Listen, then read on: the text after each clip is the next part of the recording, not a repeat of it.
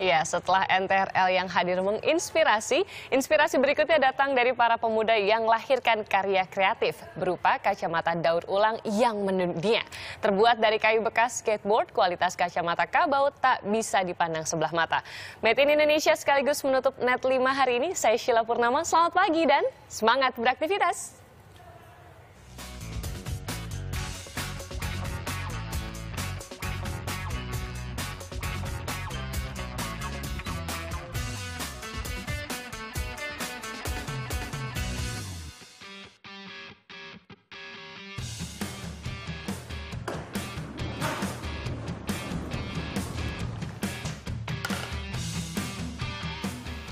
Skateboard ini udah nggak enak dipakai. Biasanya tuh kalau udah rusak sulit untuk diperbaiki. Nah daripada dibuang gitu aja, kami mencoba membuat sesuatu yang baru. Ya inilah kacamata dari papan skateboard bekas.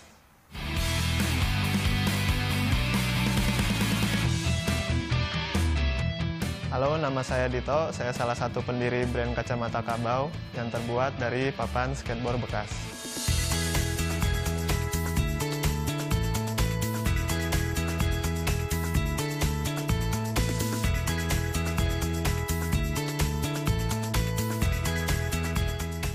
Kabau berdiri tahun 2011. Saat itu saya dan Sofyan melihat perkembangan desain dunia dan dari situlah tercetus untuk membuat kacamata dari kayu skateboard. Coba-coba dipakai sendiri dulu karena respon dari teman-teman dekat positif dan dari masyarakat juga mereka mulai mengorder akhirnya kita untuk memutuskan menjalani usaha ini.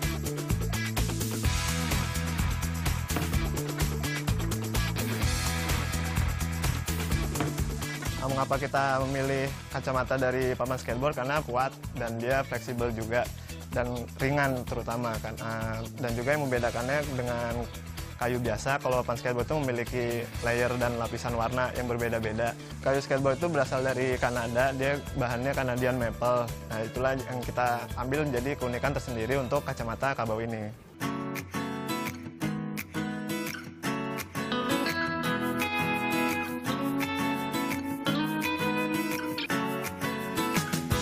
Proses yang kita gunakan pertama kali adalah pembuatan sketsa. Dalam pengerjaan proses sketsa kita yang kita lakukan adalah memikirkan uh, bentuk yang sesuai dengan permintaan customer dari mulai ergonomi wajah customer, warna dan juga kenyamanan dari customer itu. Setelah desain itu selesai dalam waktu dua hari, kita baru melakukan proses pengerjaan.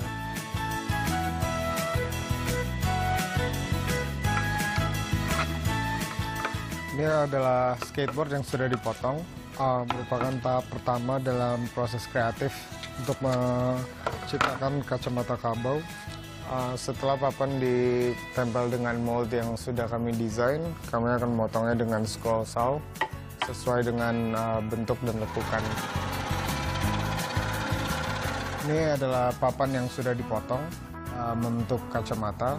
Uh, selanjutnya adalah proses shaping atau pembentukan lekuk-lekuk yang terdapat pada sebuah kacamata.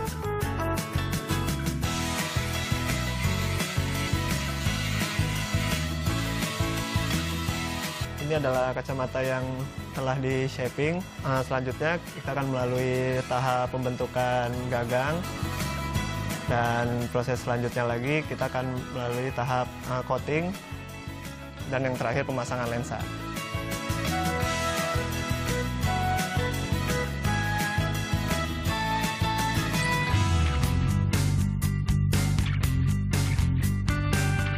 Kacamata kabau saya pilih pertama karena handmade ya. Saya suka banget dan saya menghargai sama buatan tangan manusia.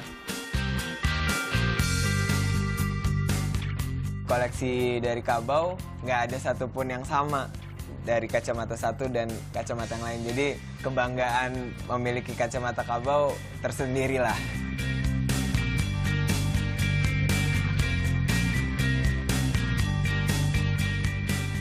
kita memiliki varian yang pertama adalah kacamata sunglasses dan yang kedua adalah kacamata clear. Dan untuk sunglasses sendiri kita bisa menyesuaikan warna lensa yang pemesan inginkan seperti hitam, coklat. Untuk harga dari kacamata kabel sendiri kita untuk serinya 1,3 dan untuk custom ordernya 1,5. Sejauh ini kita pemasarannya masih dalam online, kita belum punya toko dan dari online itu sendiri kita juga punya kelebihan karena bisa diakses oleh semua orang dan di semua tempat juga.